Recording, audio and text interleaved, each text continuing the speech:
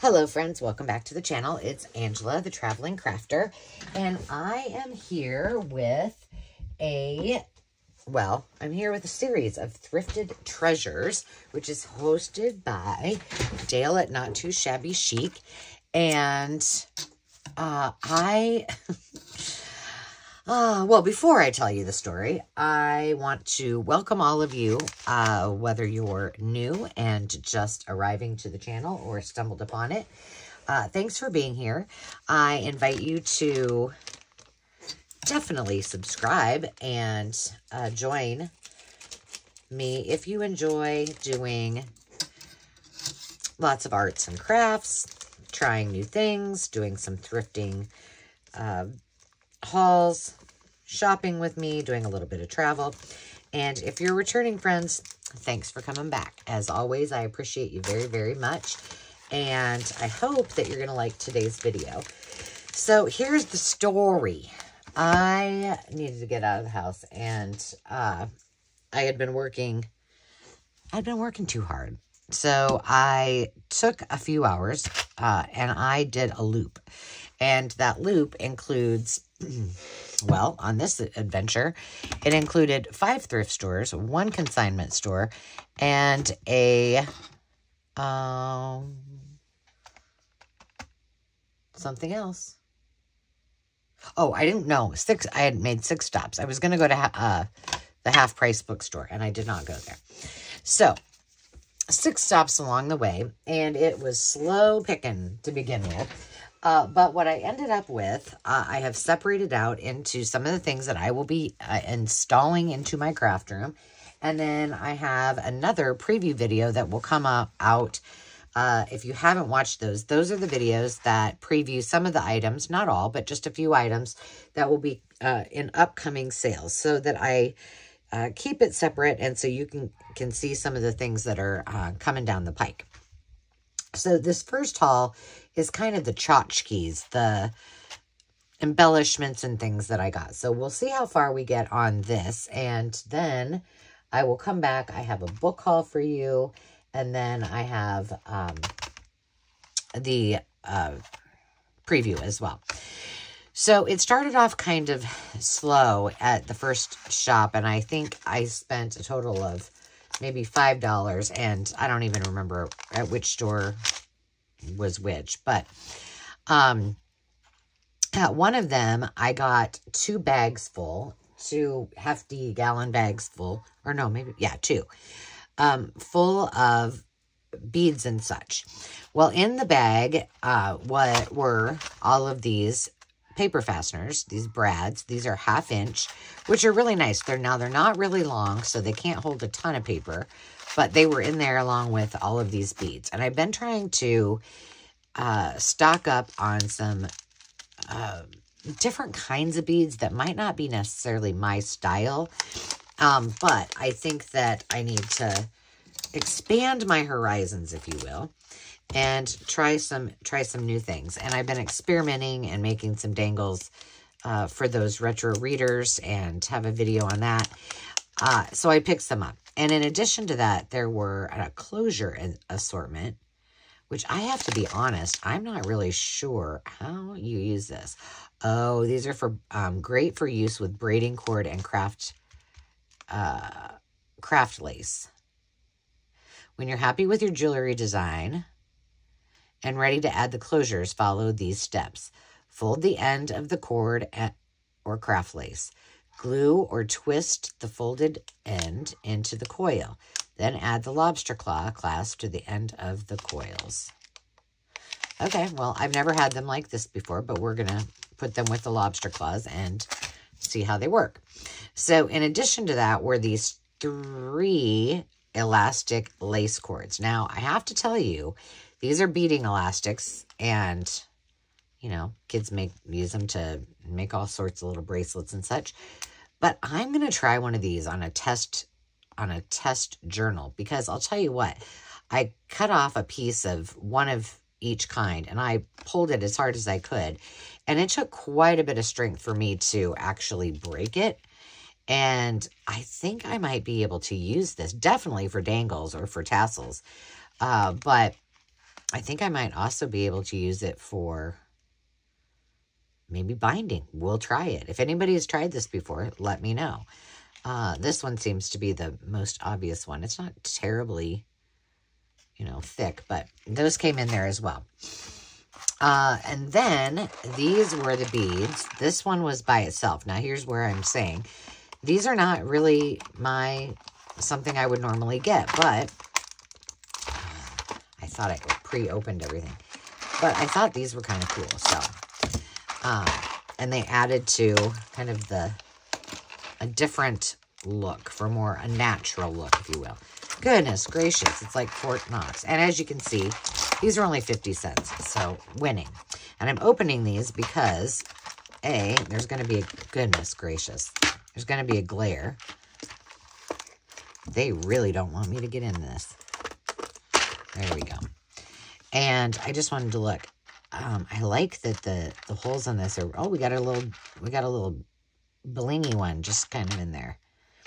So yeah, those were nice. And then the rest of the bag had um, this smaller bag in here filled with uh, the wooden letter beads. And then all of these. Now, these were for little kids, but I thought these would make really cool dangles on retro readers. You can tell they're pretty big. And someone was working on them. There was a bunch of pipe cleaners in here. Here's one right here. Um, to make a little person. But I'm going to use them as they are. And I think because space is important, I think I'm going to put the wooden beads together because they're pretty big. Trust me, this took a lot of thought. I overthought this, and I'm like, Angela, get over it. Just throw them in there. And then we'll put these in there, too. So all the wooden beads are kind of together. So I got those, and I put them in these little things. And then the other baggie that was in there. So all of this that I've shown you was in one big gallon bag in smaller bags inside.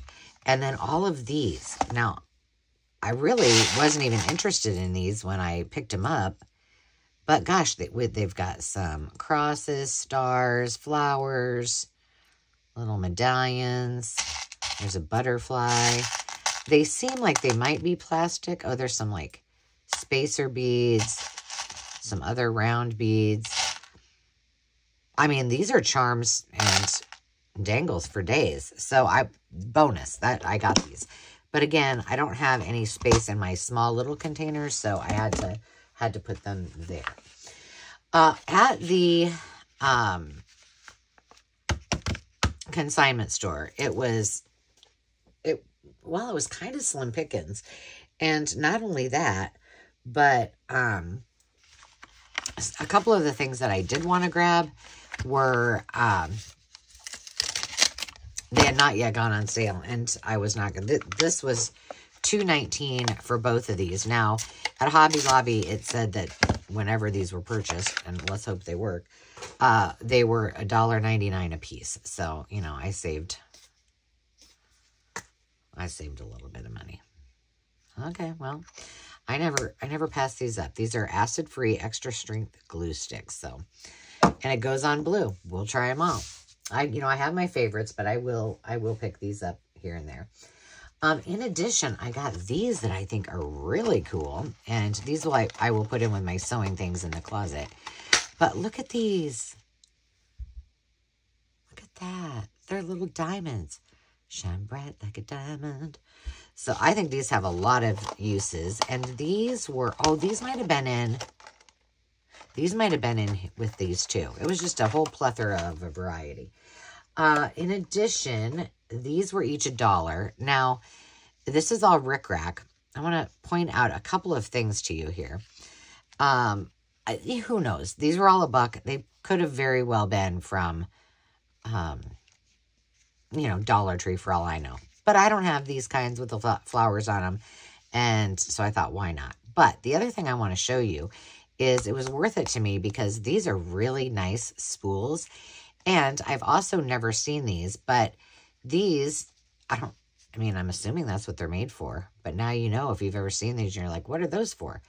Um, they hold the lace on or the ribbon or whatever.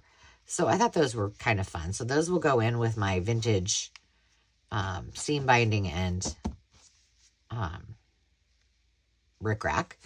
So I got those. And then um, these were each a dollar as well. Uh, but I love this color combo. And, you know, who you can never go wrong with gingham. Again, could I have got these? They were $2 initially. So it wasn't that great of a deal, but they were colors I knew I would use. So I bought them. I also got, and I did open one of these because I panicked when I got home. Let's see, did I, where's the other one? Here it is. This is the one I opened. These were $8 a piece. Now, um, I have a Dymo um, label maker, and I only had like a few colors, and I think that they were like neon. So these are for um, around the block. It's like a handheld one. Here's when I why I panicked. I saw these, I put them in my cart.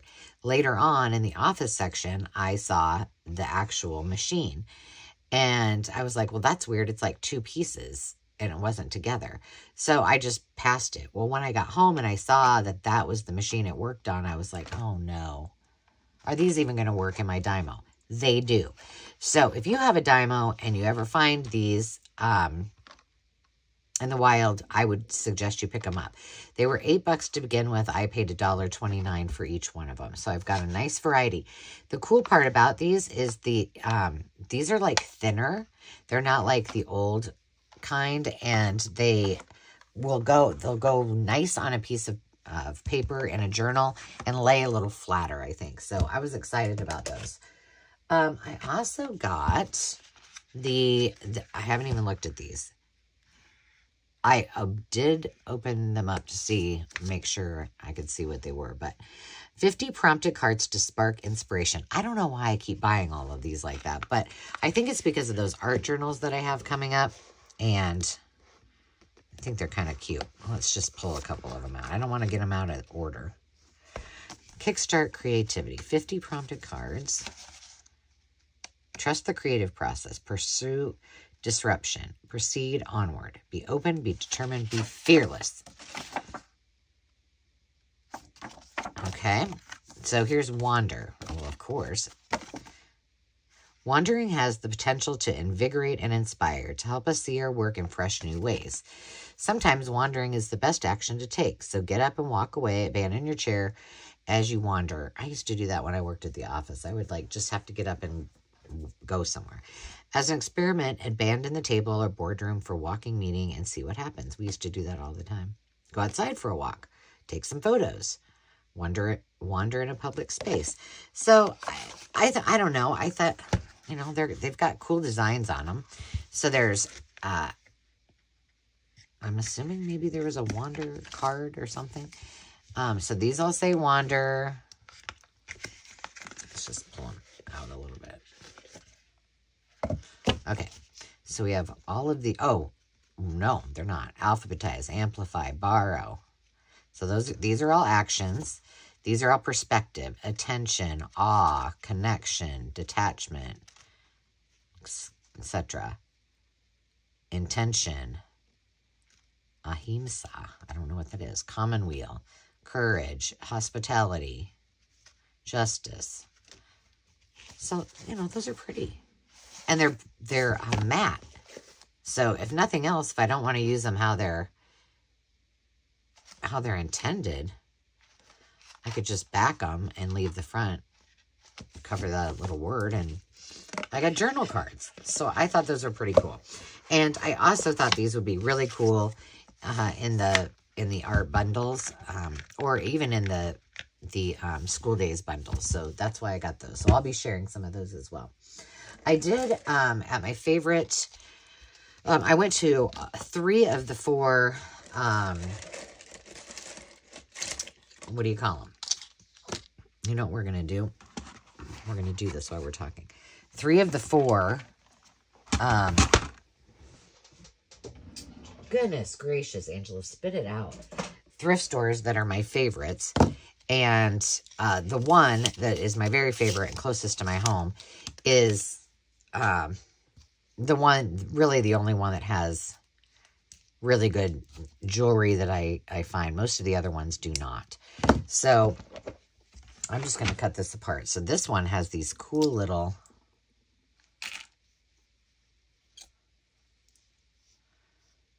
flat, you know, discs, and there's a lot of them. So I think these will be cool, and I'm just going to pull these off. Okay, that might be very satisfying to watch, so. there we go. And some great big ones and some dark brown ones. So now these are all in here. Um, this is the kind of necklace that doesn't warrant, warrant keeping it and clipping things off as I go because obviously immediately when you do that, it comes apart. So where was the other... I don't know if I'm going to be able to use that. I don't think so. It's not going to come out of there. Okay, wait, that can go in the garbage. These are also wooden beads, and so I'm going to put those in here as well. And I think I have room down here. Well, oh no, I moved them. I moved all the beads to um, under the cabinet next to me. Um, but I had two. Like one was all the blingy ones, and I thought, well, if I needed to, I could put them right underneath me and have, whoa, have some wooden beads as well. Okay, let's fix this before we have a disaster. And now we got all those in there. Ba-ba-bango. And the last one, again, a wooden necklace. And these are the lighter colors. So I've got a really good variety to make a lot of things. Um, and I do have uh, a few pokey tools and some dangle sets on the Maker's Market. The link is in the description. So please, if you haven't, hop over. Whoa. Hop over and check it out. There are wonderful makers and we're adding more um, every single week. So that is great. And uh, if you know somebody who uh, makes beautiful art, no matter what it might be, uh, we are um, actively seeking uh, folks that that would like to join us. And especially if they have a different art that they would like to share, we would like to have them along with us. So um, go check check that out and make sure you join because we are going to be doing some cool things here shortly. And I wouldn't want you guys to miss out. And I'll be announcing it over there. Uh, this one I thought was really cool. And it had some more of those flat kind of coin-like beads. This one I will put in, I think I have room over here on the left. I'll just put it there until I decide to use it. And then when I do, I'll take it apart and put it away. But I thought that was kind of cute. And it's been a long time since I bought, bought jewelry because I'm pretty picky about it. Um, okay, this was another thing that I was so excited about. I only left one of the, the, the, the these out. These were $1.29. Um, if any of you have a P-Touch labeling system, I have two of them. I love them. Um, and you see these, pick them up. But there were six of them. And these are scrapbook and photo safe tape. So these can go right on your photos and the back of photos. So I grabbed them all. I was really excited about that. I also, these were at the, um, these were 80% uh, off. So they were $2.19 and 80% off. But these are just little Heidi Swapp things. I've got um, a paper pad and some embellishments. I don't remember what the brand is. And I thought these would go well with them, so I picked those up. Uh, these and this was all at the thrift thrift store in one big bag, and it was a mess. So these are all Anna Griffin. They were actually in with all the party items. So I did, oh, this one's already open. I did um, take the bigger pads apart and took out some of the things. But it's kind of nautical, a little, you know, we've got some, well, here, you can tell what all is in there. Die cut embellishment decorations, 2016, so they're older. 25 pieces, and that's what, and I have basically three packs. And then there were all kinds of other things in there, like these were in here, and some of these, more medallions and banners. And so it's just full of all kinds of things. similar to that. But I thought these would be great for my nautical, beachy themed journals as well as the patriotic journals.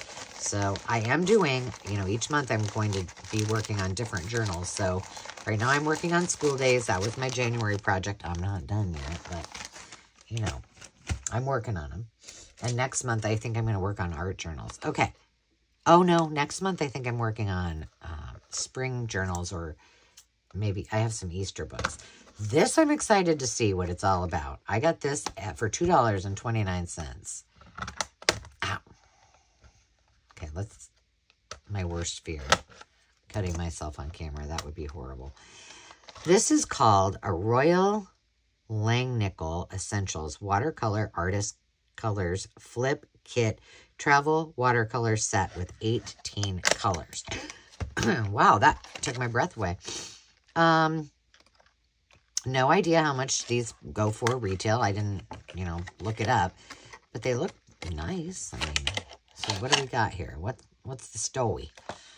Well, it has your water pen. Oh, never used. That's cool. I'll never have to take my watercolors my watercolor palettes. Again, I always take my watercolor pen, pencils, pens, whatever. That's cool. I'm going to have to find something else. Oh, and it's got, this is a sponge. That's neat. I'll have to look this up and see if it's, you know, cheapo, El Cheapo brand or if it's something substantial. Either way, I got it for $2.29. there you go. And Carrie and I would like to do a, um, she suggested doing a masculine journal. And these were also at the consignment store, and I paid, uh, I did pay $2.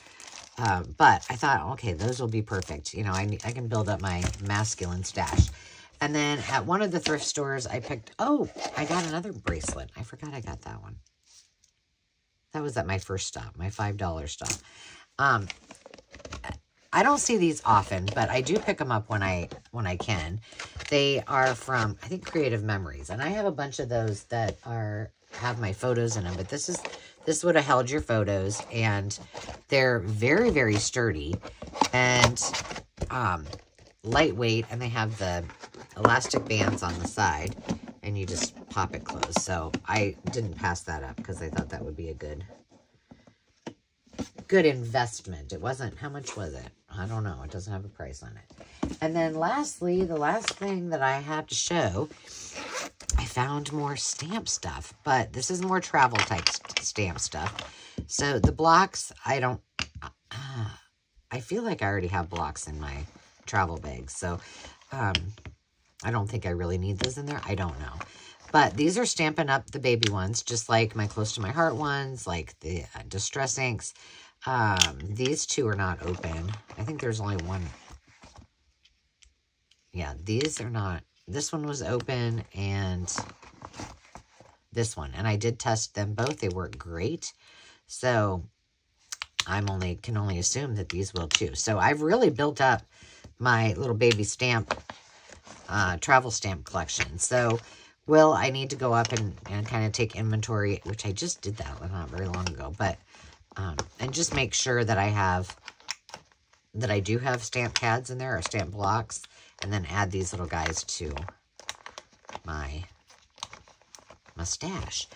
But friends, that is my haul for um, this part of the bling and bling and zing.